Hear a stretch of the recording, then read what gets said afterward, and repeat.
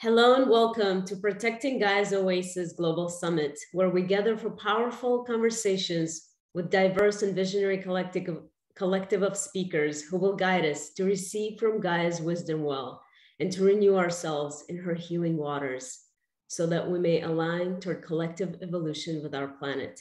My name is Maya Zacharow, and I'm your host and producer of Protecting Gaia's Oasis. And I really want to welcome you all of you to the sacred space and to thank you for being here with us. Today, I'm deeply honored to be here with Kedar Brown. Welcome, Kedar. Good morning. It's great to be here, Maya. Let me um, read your bio, Kedar, and uh, so that our audience knows more about you. So, Kedar is the founder and director of Rites of Passage Council, an organization offering nature immersion, ceremonial encampments around the world. He's an internationally known ceremonialist, healer, intuitive, and teacher of psychological and spiritual awareness with over 35 years of professional experience. I have known Kedar for a long time as a man of spirit with a remarkable devotion to healing. He tends to his duty with royalty and ferocious commitment. As a man who hears the call of earth and nature, Kedar extends his hand to those in quest of change and transformation, and is always willing to lead them into and guide them through a deep sense of communion with themselves. Having worked with him in a number of rituals and ceremonies and watched carefully the way he gives of himself to spirit, I have come to respect his priestly devotion to the sacred in nature and in every human. His work deserves respect and reverence. Malidoma Somé. I just want to say, from my perspective, I have um, met Kedar two years ago when I did another summit called the Tuning to the Voice of Mother Earth. And after that time i was i wanted to know more about Kedar um, about his work and i went on a vision quest um, guided by Kedar and his wonderful team.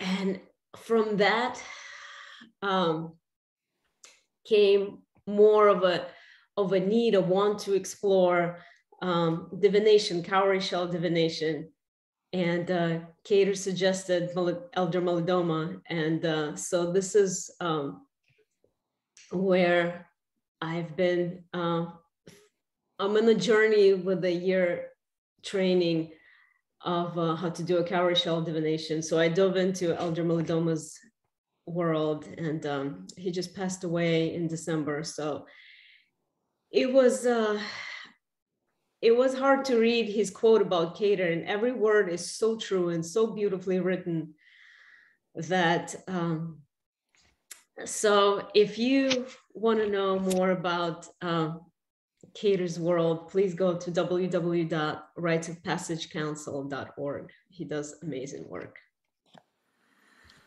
So, Kedar, your topic today uh, just has a wonderful melody to it. It's earth, bone, and water healing connections between soul and soul. Hmm. You want to tell us more about that? When you were reading uh, Malidoma's quote, I started to weep. Um, it's just it brings it brings it. But it's the first time I've heard it read and uh, or actually talked about him in, in a deeper way since his passing.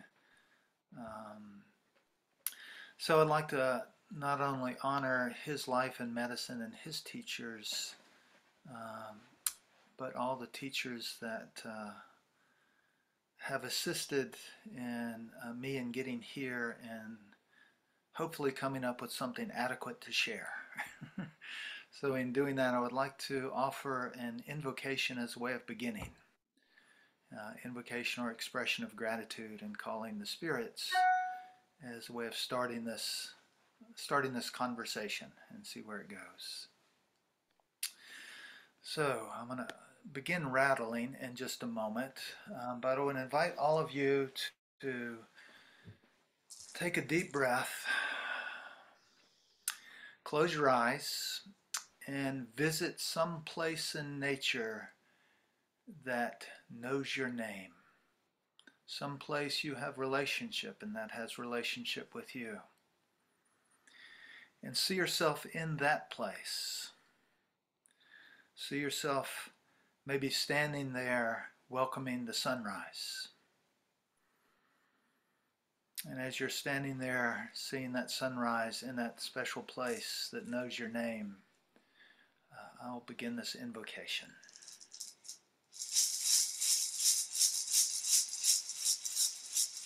So, with much gratitude, with open hearts, with clear hearts, and with humble hearts, we acknowledge those medicine ancestors that have shown the way before, that have offered pathways of deep connection with earth and spirit. And in particular, this day, I wish to acknowledge Malidoma and his life's work and his medicine and his teachers before him, his father, his grandfather, his all those ones that came before him. We thank them for bringing us this medicine that they brought into this world and leaving it here in the ground so that we can find it. Leaving it here in the ground before they went on to the world of the ancestors once again. So we welcome those medicine ancestors to this summit, to this circle, with much gratitude. Ashe.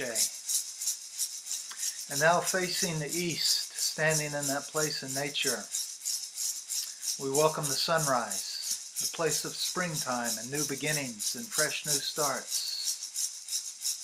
The place where the emerging colors of spring begin to poke out of the ground and bud out of the trees. That place of new beginnings and fresh new starts where we learn to see for the first time everything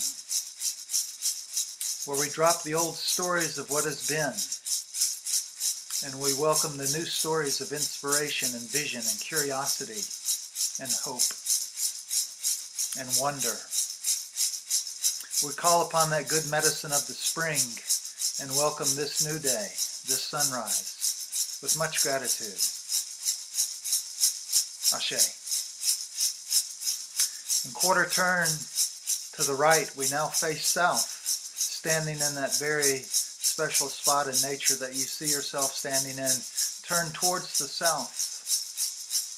And we call upon the good medicine people of the south, the place of summertime, the place of action and beauty unshadowed by thought, the place of courage, integrity, and impeccability, the place of bringing our vision of the East into form so that the people can see. We call on that place of the South, the good medicine people of the South, where our thoughts and our feelings and our words and our actions are exactly the same. to the spirit of fire. With much gratitude to the good medicine people of the South, we welcome you to this circle to the summit to awaken within each one of us that bone memory where you live as well. Ashe. Quarter turn again to the right, we face west. Toward the setting sun, toward the autumn leaves, bright colored leaves overhead and on the ground, the cooler nights of autumn, the place of the harvest, the place of receiving and gifting,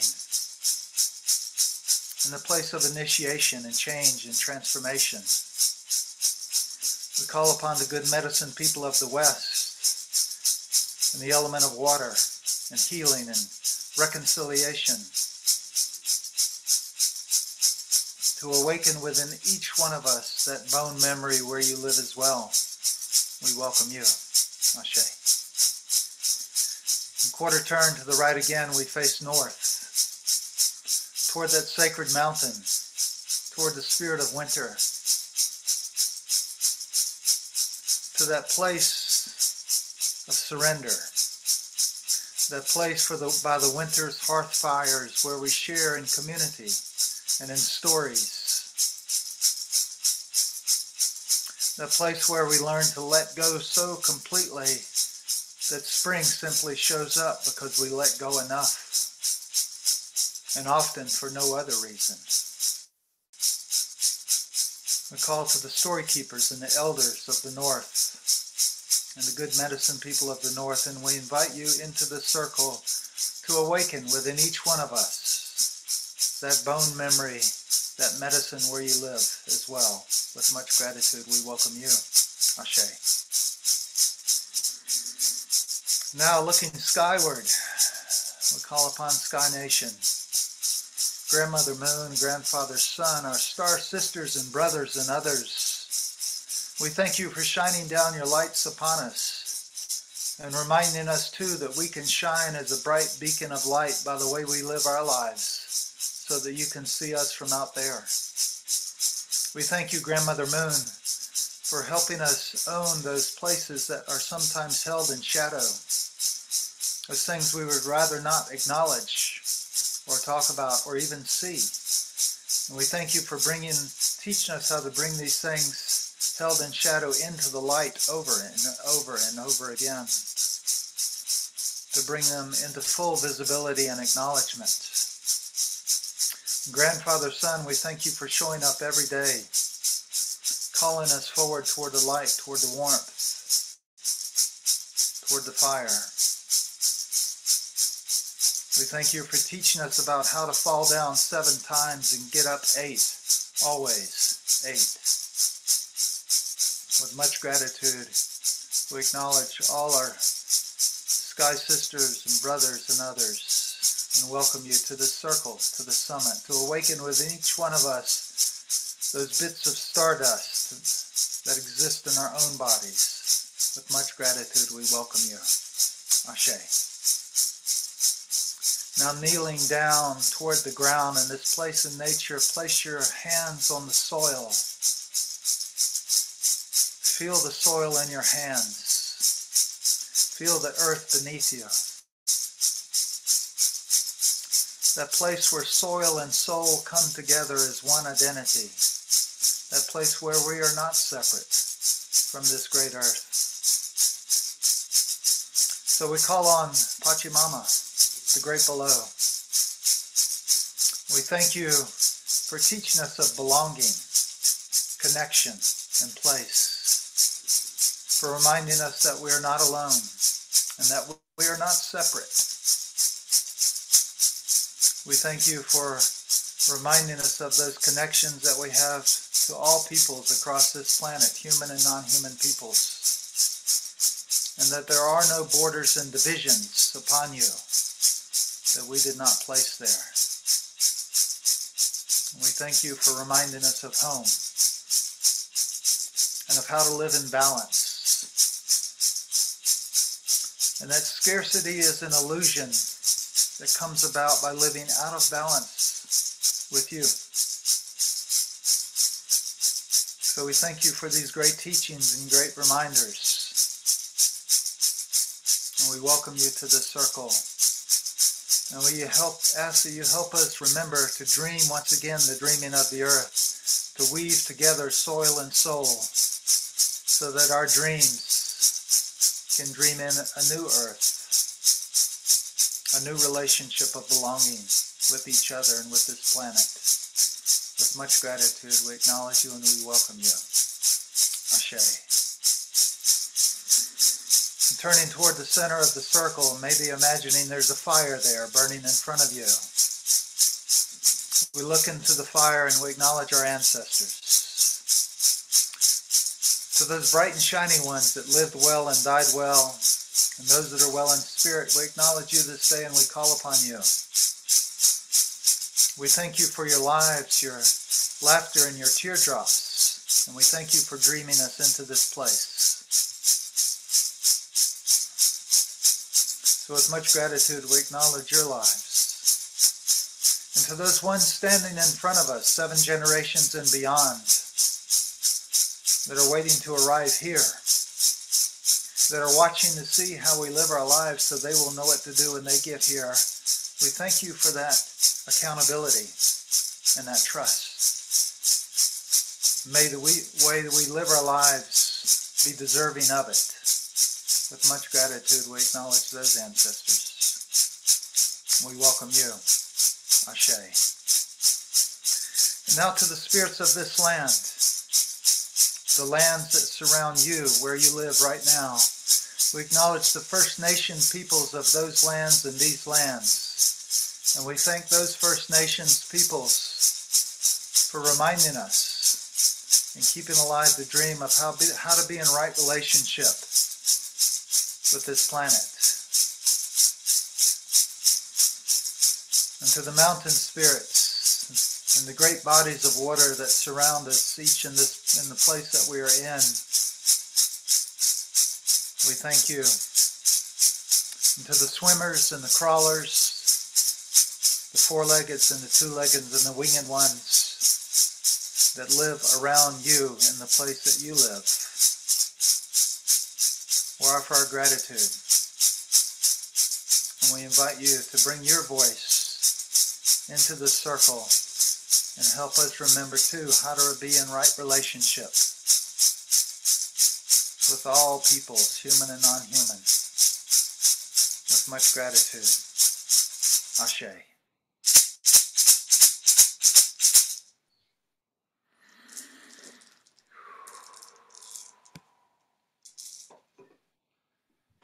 Feel like we have quite a full house when, when we do that. yes, Ashe. Thank you, Kedar. Absolutely. So, conversations about Earth. Yes. Um, so what's coming to me in this moment is uh, one of the teachings when I when I work with my apprentices about Earth that has been shared with me by many of my teachers is what I call the many different faces of Earth. And there's Earth as spirit, Gaia, Pachamama one to be in relationship with, to call on. And there's earth as uh, medicine uh, to restore uh, a place of belonging, connection, um, connection with with the planet, connection with each other. Um, and there's earth is is uh, a clearing energy in which we can work with to clear away and deposit and compost, if you will, um, those things that are no longer serving us. We can put them back in the ground and let them become something else. Um, in that face of earth, that is uh, um, who we are, identity, personal, personal identity. One of the, uh, there are many, many different types of earth rituals. One of them is uh, that I recall in this moment is more of a complete submersion uh, in ritual when it's buried um, up to their neck. And uh, through prayer and connection and ceremony, uh, remain in that in that place um, as a as a remerging. I like to say I, I, go into earth to remember myself as earth. Um, and that all that Earth has to offer us in that way of connecting. And uh, of course, for those of us who can't do a complete submerger in Earth, to bring a little soil into the house. Um, even just have a place uh, to, to create an Earth shrine in your yard or in your apartment where you just bring some soil and make a mound of Earth um, as a way of connecting with that soil. Um, speaking of Malidoma, I know in in his traditions, they have uh, in the village they have what's called the Tingan Sob, or actually a Timbalo Sob as well. Um, and Tingan is the name for earth in Dagara language and um, in Burkina Faso. And the Tingan Sob is the keeper of the earth shrine. Um, and so the keeper of the earth shrine uh, their their role in the village is that of similar to like village elder that tends the the heartbeat of everyone in the community. Um, so this way that, that in their cosmology, Earth sits at the center of the wheel. Um, and so it's a place we, we take our our uh, our uh, places of uh, wishes for connection, or I guess our our challenges with disconnection. Um, and one of the ways I like to to think about Earth is is that uh, there was a time in all of our lineages, if we went back far enough, uh, where um, like say like this uh, braided piece of sweetgrass, where each one of these braids represented a part of our identity. We say that one of these braids represents our ancestral identity. One of these braids represents our individual identity, and one of these braids represents our connection and relationship to the land in which those two come together. Um, this day and age, we've been so separated from our ancestral lands, and um, so often find uh, these these ceremonies and rituals where we weave back together the sense of personal identity, ancestral identity, and relationship with Earth to actually weave it back like like sweetgrass, weave it back into one identity, so that there was a time when one could not speak of who they were without acknowledging their ancestors and the land in which they were connected. Um, and so, if, if, as Joseph Campbell says in one of his quotes, if we think of ourselves as coming out of the earth instead of being deposited down here, there's much more of a sense of uh, identity and belonging, and therefore uh, relationship to care for something.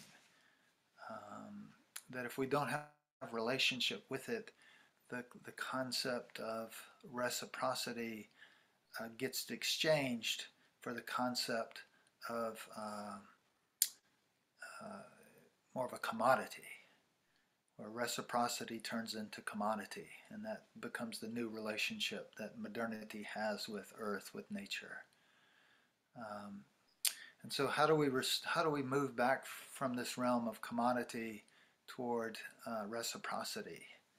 uh, with relationship with earth. Uh, because in these times where the where we Joanna Macy would speak of the great turning, um, we're uh, recognizably at a very delicate threshold of um, no return. And um, you know, I think it's important not to get overwhelmed, um, but it is important to see. Um, to, to look and, and feel what we see um, and let that in. Otherwise, there would be no uh, no even awareness of taking any different action. Um, so I am aware that there's there's a certain cross crosshold we could cross in which um, uh, I don't I, I believe the earth will figure out a way of sustaining itself. I don't know that humans will be part of the new story. so, um, in terms of uh, ge geological and Earth time uh, on a 24-hour clock, I think we've only been here a few seconds as regard to everything else. So just to say species come and go, and uh, but I do think it's you know in, in listening and learning from our ancestral ancestors, our old ancient ancestors who had deep relationship with the ground that they lived on, we can remember something about how to be in right relationship uh, to earth. And um, I know for me, sometimes it can get so big, it's like, what could I possibly do to make a change? It's like, that seems like, you know, we're walking down this, this dead end road and no one wants to acknowledge it. Um, and the task seems so immense. Um, and, and I think for many, and sometimes other too, can get lost in the immensity of of it. Feels like, well, what what really can be done? Um, and I think if we pull that back to um, what is it that I am here to offer, um, and align myself with that, um, as it's connected to these other uh, questions and, and, challenges we're facing on the planet. Um, you know, over the past few years, we've, at least globally and politically, we've, we've seen this kind of gravitational pour, pull towards nationalism and uh, autocratic rulership. And yet, from my from more of my uh, humble ceremonial perspective, it, it, seems like as people uh, operate from this place of scarcity, they begin to grasp hold of their resources and want to protect them. And we move from a global family uh, to the the us against them, and um, which then geopolitically looks like very different scenarios where people start to grasp for the last resources and close their borders and limit, um, as if somehow it, it creates it creates the illusion of a of a, a short-term remedy. Actually, the illusion of a remedy, but very short-term maybe. Um, and in reality, we have, you know, as I say, there's no borders of division. We have to learn how to live on this planet together. Um, and there's so much stuff going on in the world that distracts us from from the, the fact that we're walking down a dead end road. Um, so coming back, what what can I personally do uh, to make a difference? Is to takes me back to, to my love for rites of passage and and uh, prayer fasting and vision questing, which is how do I align myself uh, with the very medicine and gift that I came into this world to offer because that is what I'm here to offer in this time. Um, and I might not be aware of how that will impact the greater story, but that is what I have to bring. Um, and so, to me, that's a starting place. That's a question. Um, I love that there was a quote by, uh, I think it was Joanna Macy, maybe Carl Jung first started, and she took the quote, but it's it's um, this idea that um, when we live on the edge of uncertainty, or, or uncertainty is the um, often the breeding ground for the greatest creativity uh, when we cut the edge. Um, and so we're there. It stimulates uh, innovative creativity when they're you know when you're right on that edge. And she also says that, you know, there's one great question that runs like a thread through everyone's life. And if you can find it, uh, it's rare indeed. Um, and the questions are meant to be lived into, not simply to be answered and put on a shelf, um, but to find what is that one great question that runs like a thread through my life. Because it's in that question is also the, the antidote of what you bring to this world. Um, Malidoma used to say that the trouble you see is simply you're seeing it because it's your job description. Um, think of your eyes as the the uh, now not, not I wouldn't say video recorder anymore. I'd say digital recorder of the from the realm of the ancestors, and it's because you see it that you carry some degree of antidote for it. Um, and so that's embedded in that idea that um, you know, like the, the, the questing ceremonies when we go out into nature, when we go up on the mountain. Um, I always say it's much better to return with a really good question than with an answer. Uh, because it's the questions that we live into. It's the questions that we that shape a life. Um, it's the questions we follow. Um, and some native people say, you know, the may the question you carry be one that cannot be uh, reconciled in your lifetime, but when you pass on that you live forward for the next generations in front of you. Um, for the for the for the one who plants a tree. Hmm. That they will never see. That they will never sit beneath its shade, but their great grandchildren will. That that kind of thinking. That's what's called for now. Not, not how will this. Uh, we, as Mel Donis said, we got, we got to cure the mind of this desire for immediate gratification. Um, and uh, because there's no, that's not sustainable. Um, and so those questions, those visions, those ones who, whatever their their uh, tree is in their life that they're planting that they won't see grow or they won't be able to sit beneath its shade but they're going to tend to it. Um, whatever that is, these are the places we look for.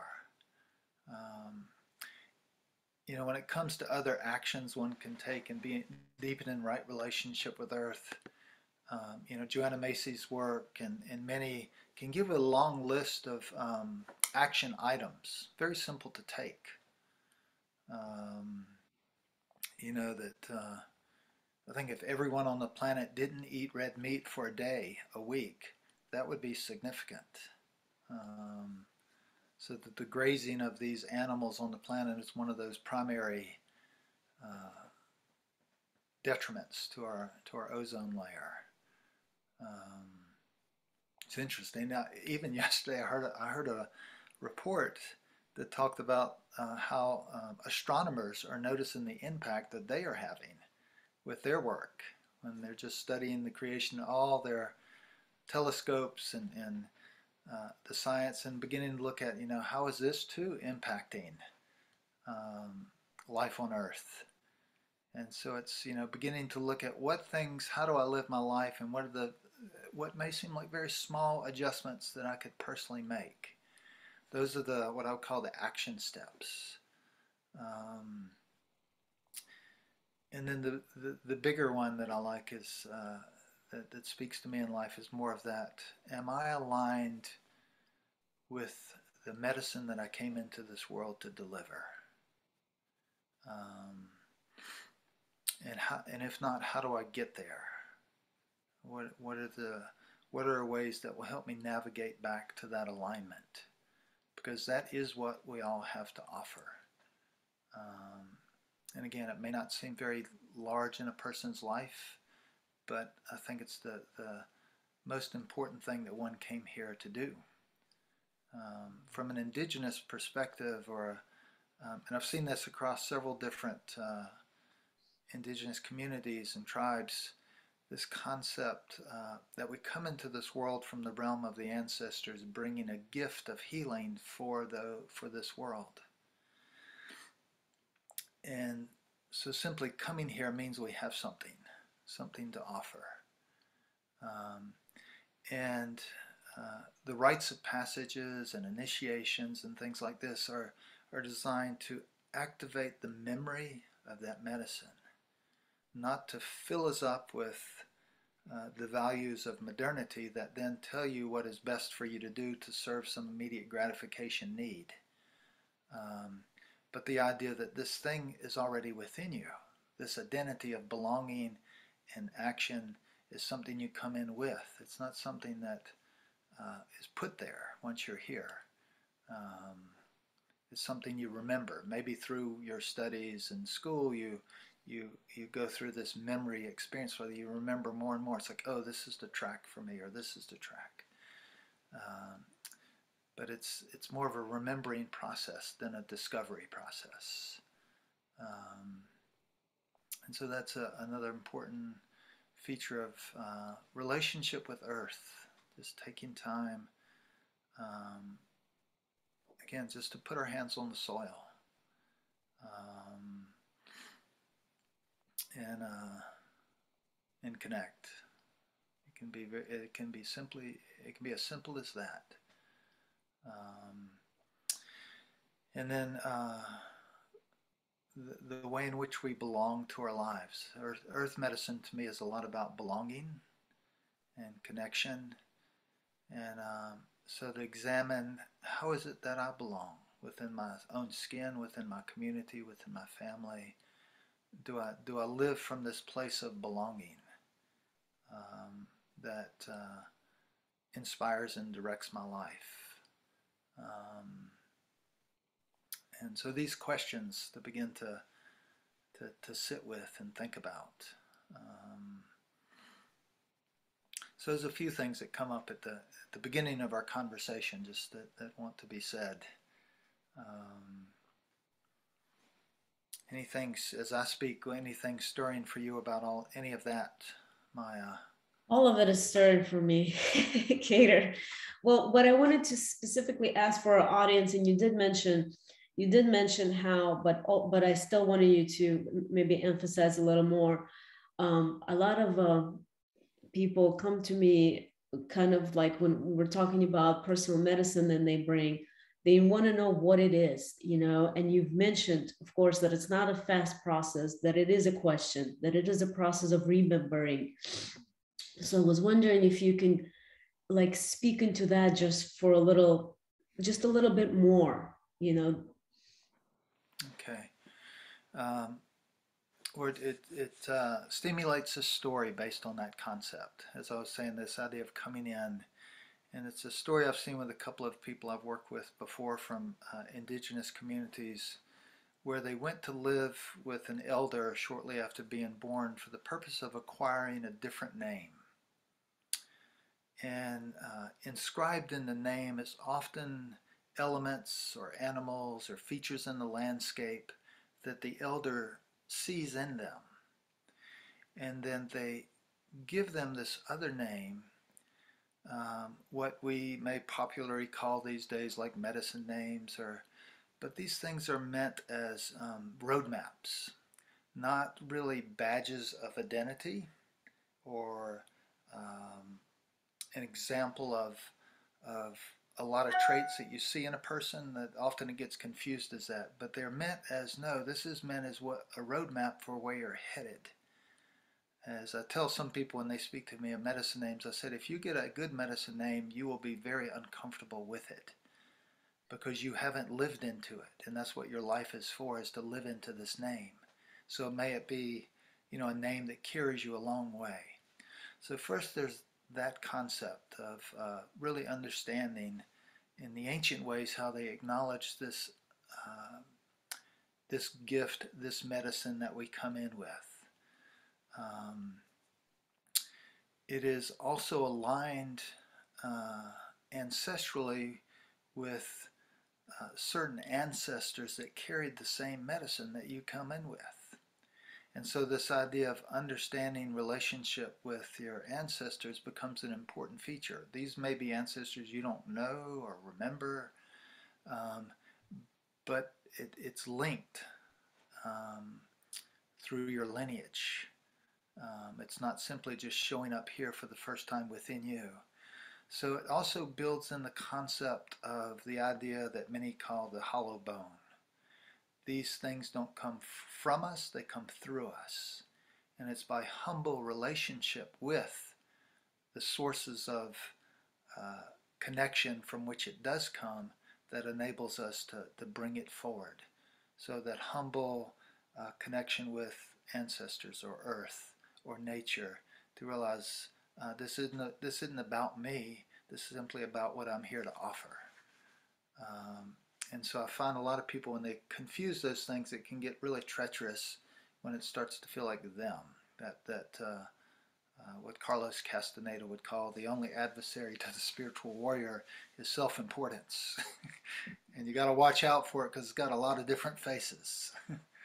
so uh, humble gratitude and relationship to sources of uh, support in the natural world and the ancestral world and um, and, and whatever our sacred traditions of honoring that we have relationship with that's the first uh, aspect of, of being able to channel being able to, to bring this forward um, otherwise it gets into uh, modernity's realm of scarcity, competition, and better and less than thinking. Mm-hmm. Um, and that's a whole trap um, where one begins to try and figure all this out through a, from a paradigm of thinking where it can't even live. On a more practical note, um, this remembering is not a one time thing it's uh, you know I'm I'm 62 now, and when I look at my childhood, and what I gravitated towards in terms of play and interest, I can see back there the very early uh, ingredients, if you will, to where I am now. Um, so often looking backwards, I can see, oh, there was this, there was this map unfolding. I was interested in this, or I did this, or I enjoyed this, and it's like now not much has changed when I look at it from that perspective. It's just doing it different.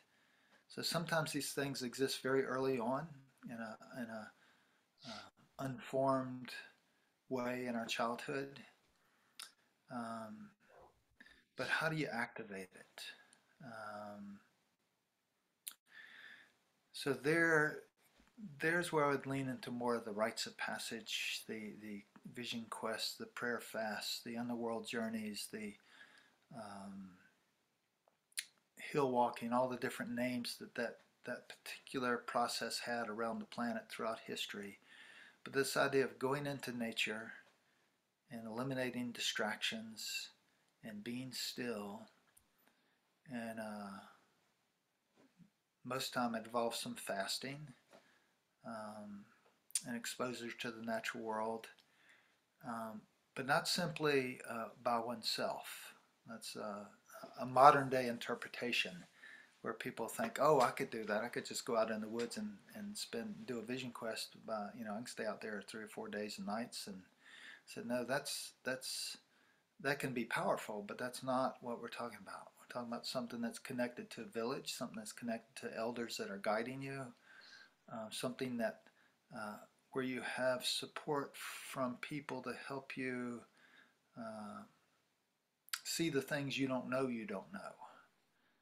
Um, so uh, whether it's a day-long experience, but something that where the mind quiets.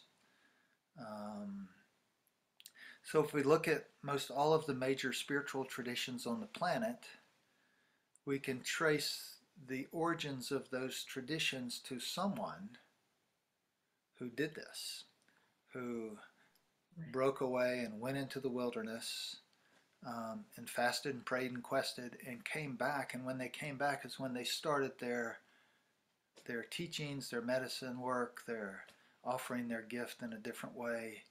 Um, we can see it in, uh, let's say, many different uh, Buddhism and Christianity and Judaism.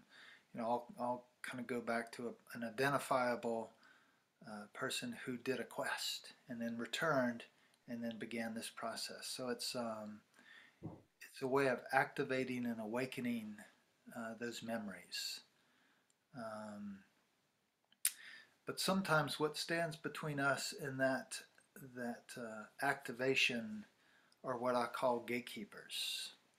And those gatekeepers can be ancestral. They can be ancestral trauma. They can be, you know, our own life trauma experiences. They can be just the the the myths of modernity um, like I say in in, uh, in one of my poems, I say if you if you uh, if you are not connected to the to the mythology of your own life, you will likely be living a life that's not entirely your own. Um, and so that our modern society has its myths. And, uh, and as Joseph Campbell says, the, if you want to know what the myths of the society you live in, look around and see what the tallest buildings are and that will tell you what the myths that society wants to give you and say here's the myths. Here's what we value. Here's what you should do with your life. Um, and it's so uh, it's so backwards from from the other way which which is um, no you come in with that and that the the job of the teacher is not to fill you up with their mythology but to draw out of you mm. what's in you pull it out, to get it out. Mm. Um, and that takes a village. Um, so uh, I wanted to say like quickly that like that that that was when I went on a vision quest. It was my idea. Like I always loved being alone in nature, and it was romantic to me. And I was looking forward to those four days and four nights of fasting. But my whole lesson of doing the vision quest was really uh, just understanding the importance of the village and being supported by the village. And um, so th- this is really what I carried away from the whole, from the vision quest, right. from the 10 or 11 days that um, the rites of passage council and that, that uh, you, you held that, that, that whole ceremony. So yeah, thank you. Right. Yeah. So yeah, the the the, the village and the ceremonies and rituals of preparation uh, to assist in, in dealing with these gatekeepers and connecting one to a more core sense of their gift, and then going out on the mountain with that. Um, and you know, I'm, I'm, I'm having Im- images of your particular work, which I can't speak of because it's not my story, but it, it definitely this deep connection to earth and beginning to listen and uh, listen to the dreaming of the earth and channel uh, channel that information. It's probably the, the, the, reason we're sitting here talking today um, on the summit is is uh, and it, it wasn't new information, but it got activated in a different way, in a stronger way.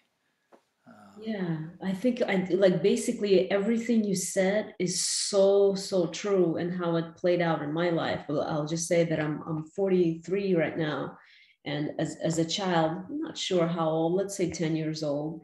I was uh, out in the Black Sea, and I just loved being there. This is my place of connection that I remember the most from childhood. And my dad told me a simple story that the fish now so small and when he was younger it was just so much bigger and things are degrading environmentally. And in my naivety i was thinking well this is it. We must we must restore it. We must bring it back. So this this is what i wanted to do. And part of it was going to united states and getting an environmental science degree and then later going out into the land and doing environmental surveys.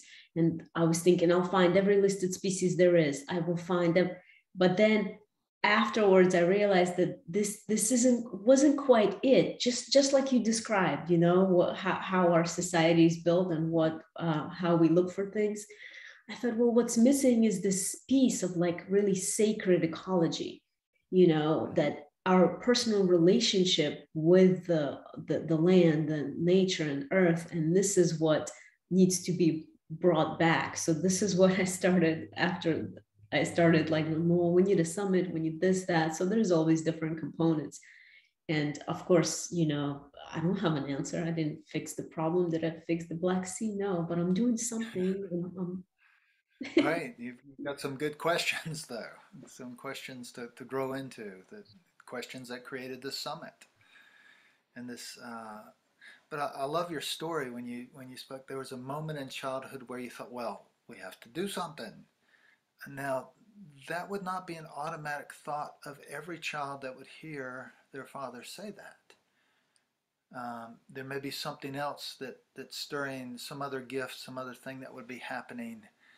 Um, but that, that speaks to uh, even the idea that, you know, even with our listeners today, if you walk back down through your own history into your childhood, you may uh, uncover some moments of, of recognition of, of, of, this kind of bone memory that you come in with. Um, bone memory being that which is older than you biographically, uh, biologically. Bone memory that's, that's in there, that's ancient. And, and it shows up in it, like in that comment, to that, that awareness, in that sense, oh, I have to do something. Um, I think of my own life at, at a certain age, um, we we uh, I grew up next to the um, to the sea, to the water. Uh, we had a lot of marsh behind our our house, where the yard descended down to, to marsh grass and tidal creeks, and um, and so I had that kind of relationship with this threshold between land and water, and and there was a certain kind of mystery and danger to this other area that drew my attention. Uh, and then when I got to be a teenager, I, I, began to, we moved to a different place and I would spend a lot of times in, in the forest. Mm-hmm. Um, and having grown up um, in the particular um, religion of Catholicism, um, I had a, you know, I had those imprints of ritual and ceremony and kind of what that was like. And, and I'm very fortunate and, and uh, that I did not have a bad experience with uh, with my Catholic school upbringing, um, and it left some fairly positive imprints. But as I got to be a teenager, I recognized in my story, it's like, oh, I would spend lots of time out in nature, um, connecting with nature and talking to the spirits. I didn't know that back then. I was just having conversations. And now it's like my life's work is essentially taking people out into nature to talk to the spirits and find out what they're like. Oh, I was like doing that at 12. um, I didn't know that that's what I was doing, but it, I, I, haven't changed that much apparently. um, so it is it is nice when we find these threads. It's like it, they're reminders for some of us, like oh maybe I'm not off track. And then for other people, it's like you know I took on this life because someone else wanted me to take it on, and I'm and I'm beginning to feel like this is not where I belong. And I've had people, you know, uh, I've done work with people that came to that recognition. Uh, and sometimes sadly after many years of school and professional work and they think you know this was never for me well, i always wanted to be this or do that um, but it's back there those those, those uh, threads or breadcrumbs of identity and medicine and gift uh, uh, live in those childhood stories. Um, the powerful experience of, of, uh, of the prayer fast or, or uh, vision quest is this idea of uh, going into nature after much preparation um, and spending enough time there uh, in solitude uh, so that our thoughts lay quiet. Maybe hard to imagine for some people, but our thinking mind um, becomes a, is such a distraction and it just runs constantly. But in my experience with the with the quest is that when you're out there long enough, eventually the thinking mind uh, stops. Um, sometimes after it remembers some things that drive it, sometimes old memories of pain and, and difficulty rise up and we have to feel it um, because it's the unacknowledged uh, traumas and unacknowledged feeling memories that, that drive this kind of constant need for immediate gratification and constant thinking. Um, and once with that energy moves through us, all of a sudden our mind is quiet. Um, and what happens then is we, we start to notice. Uh, we start to be in relationship with, you know, the squirrel that seems to travel the same branch every morning about the same time, or the, or the, the bird that flies in just over my questing site about the same time morning and chose one morning to land on my head uh, because I was still enough. Um, these, uh, it, it's like uh, when we eliminate the, the internal angst and, and challenges, not eliminate, but when we work to heal it, um, we become recognizable to the natural world as one of their own. Somebody asked me one time, why is it in ritual out in nature that animals and, and, uh, and birds and, and even elements seem to engage with us in this very mysterious way that's, that's unexplainable? the, the moment of this or the arrival of this or the encounter with this. So why does that happen? And as best as I can tell is that it is in, in ritual or in ceremony that we become as humans authentically recognizable to the natural world and so they feel better coming in close. Um, where most of the time they just, you know, see people walk in the woods and say, well, I never see anything, I don't hear anything because uh, if you're paying attention when you go into the woods, you might hear this one bird initially, and it's kind of the alarm bird that signals all the other birds to get out of the way. um, so we don't see anything or hear anything, but if you stop and remain still for long enough, it starts coming back. And, and also that the, the emotional energy that if, as we release that, then it really comes. I can't tell you how many stories I've heard of of encounters with animals after an emotional release, uh, where a person was dealing with something and were completely open and vulnerable, and all of a sudden this eagle, or in, in one story I knew of, um, where this person went swimming with with dolphins, and it was uh, and they swam out to be with the dolphins, and all the dolphins scattered, and, and it was one of these group things, and they saw swam over there to be with the dolphins, they all went away. And they kept doing this, and all of a sudden, what got triggered was their abandonment uh, of childhood, and then they began to to weep and cry, and they just they just were floating in the water crying, and the dolphins came up underneath them and lifted them.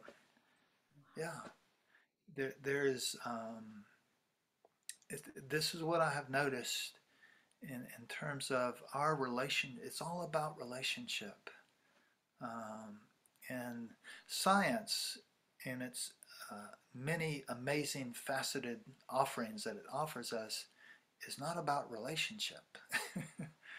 um, I've heard many people that, that even have deep relationship with plants and the, the plant medicines, and then they you know become a botanist, and it's all about science, and it's like not personal relationship and uh, and if they keep that keep that other part alive, then they come back. It's kind of like you and your studies. Like then you come back. It's like now, let's enter into relationship.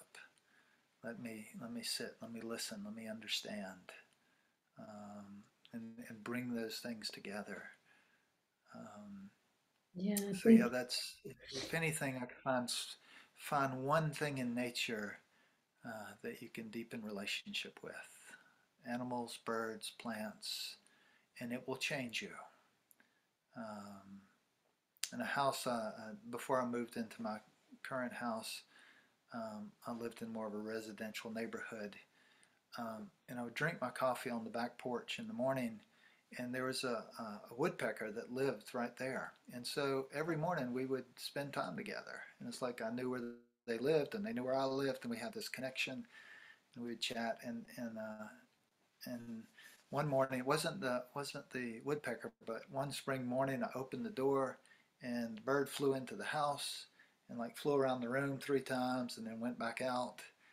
Um, so I think that you know it's um, in things we don't have relationship with, we don't think to preserve or protect, and, and this is key. Uh, it because I say it, it moves from uh, a relationship of reciprocity to a relationship of commodity.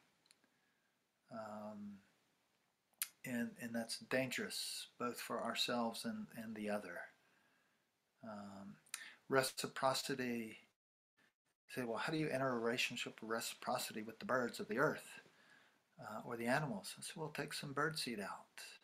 Uh, put a, put a, a, a bluebird house in the meadow. Put a put this put a hummingbird feeder outside your kitchen window. Um, you know, if you if you live in the land of bears like I do, you know, um, they love birdseed too. But put it out on a stump, otherwise it'll destroy your bird feeder. Um, it's like a reciprocity is to make a, a, an offering, an acknowledgement, a gratitude. I say to open those channels of connection requires humility and gratitude.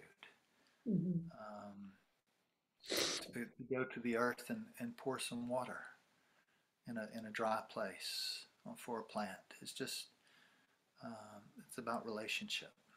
Um, and uh, you, you will be, in doing this, you may, like I've often been, often surprised uh, beyond anything that can be described as a coincidence as to what might happen uh, between you and the natural world when they start coming in close. I've seen mountain lions and blue herons uh, come in when when when stuff's happening that where we where I say we we become authentically familiar to the natural world, so they naturally want to come in. They're curious and engage or offer, mm-hmm. or, or maybe they have something to ask of us. Um, and I would just, um, kind of a, uh, a humorous thing is that we often develop this relationship of um, going to nature from a place of um, uh, what we'd call egocentric rather than ecocentric. Um, so we look for signs from animals. What does this animal have to tell me? What is this? What is this sign here of this tree telling me that has a message for me? It's like, wait a minute it may be needing to ask you for something. Don't think it's always there just to give you something. Uh, maybe it needs to alert you that, or you know, the stream by your house is is becoming toxic? Will you do something about it? Um, so even shifting from a from a from an egocentric relationship place to an ecocentric or even a soul-centric, because Bill Plotkin likes to name these three divisions, um, can help us shift this this paradigm of how we relate um, to the earth, to the natural world. Um, so, so so much so much to say there. Yeah. I'll pause again and see if you say something that uh, takes me down another rabbit hole. No, it's it's wonderful. All of it is is is so true and so right. And yeah, the the word relationship and and um, I just I just had this one um, thing brought to mind. Is um, who, was talking about it? Usually, when we try to at first when we try to connect to the natural world, like you said, you have a message for me, me, me, me, or Right, and right. and but how often do we go out? Even like I'm, I'm talking about let's say just myself you know? I had to teach myself you go out and you have to say like but what just let's say like have talking to the elements or or like just tell me about your life you know? How has it been for you you know talking about water and it doesn't mean that like i'm getting answers or somebody's like i'm listening to the wind i'm not there yet well well sometimes that happens but it's not like always like oh i hear the whole story of water it's just putting out the question there that I'm, I'm curious, I'm wondering, how is it? How has it been for water? Where did it come from? Where, what, what does she do? You know, and it's like that, like you said, with the tree, with anything, just Mhm. a- ask about them. Yeah, it's it's um, and and for those that might feel a little bit like um, challenged by the personification of relationship with the natural world, um, or what we're talking more as a animistic way of relating uh, to the natural world, that, that everything is alive, everything has consciousness. Um, not in the way of that we think of human consciousness, but everything has a consciousness that it interacts with. Um, and uh, you know, for people that like one simple example, like you were indicating, Maya, this uh, like if you if you have a tree that's important to you, and you go and you take something, take an offering to the tree, some water, some something, um, and you sit with the tree, and um, you connect with the tree. And I would say, after you've done that, now sit back and let the tree connect with you. So you go into a receptive state, not in a doing, um, but you make a connection, maybe a touch, maybe an offering, and then relax back and allow the tree now to to offer something back energetically. Um, and even if we're bridging animis, animism with physics, everything is made of energy, right? So everything has a field of energy that, that surrounds it. And when we enter into another's field of energy, uh, we have uh, relationship to connect with all that's in that field. Um, and so in some ways, the, uh, there, there's this uh, place where I would say uh, um, physics and animism can kind of cross over because it's all, all energy and consciousness. Um, but again, finding something to have relationship with um, and maintaining it.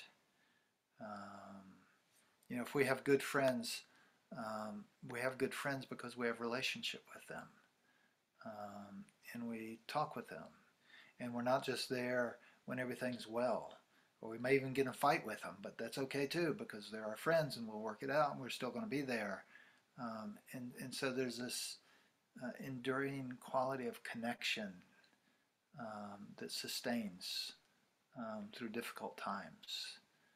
Um, and so again, finding something simple that, uh, and present that you can be present with in nature um, and with earth and, and uh, make connection to.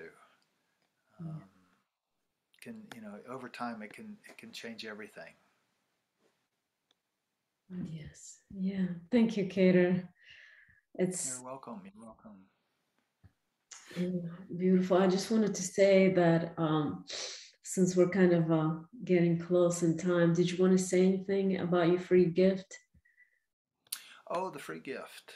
Um, so uh, actually, there's kind of two free gifts. One, if you click on the first link, it'll get you to a place where you can um, sign up to receive a free audio drumming story um, of me performing a story called Singing Stone. It's a story of the initiatory passage. Um, and also, you, once you do that, your name will be entered into a drawing um, for a free divination. Uh, that was uh, what was Maya was talking about in the beginning. Cowrie divination reading is, is also something I offer. So um, after this summit, I'll probably wait a week after the summit and before I gather up all the names of people that, uh, and then we'll do a, a random drawing um, for, which is uh, what random looks like for me in that case is I, uh, I count all the names and to see how many we have and then I call my um, admin assistant and I say, okay, pick a number between this and that. And she'll give me a number and then I'll go down the list and say, okay, there's the person. So that's kind of how the random drawing works. Um, then I contact that person and let them know they have a free divination and we schedule it. Um, and you can also read about the divination, cowrie shell divination process there in the, in the gift description. Yes, yeah, it'll be provided like right below this video and also on Kedar's page. So it, it's all here for you to claim. Yeah. Well, thank you so much, Kedar, for being a part of protecting Gaia's Oasis and for your wonderful work in the world. It has definitely benefited and changed my life. So thank you. Thank you, Maya. It's an honor and a privilege to be here with you. Uh, and to, to all those that are listening in, thank you for joining us. And hope to see you maybe one day uh, down the road sitting around one of these sacred fires. Putting our hands in the soil. Ashe. Ashe.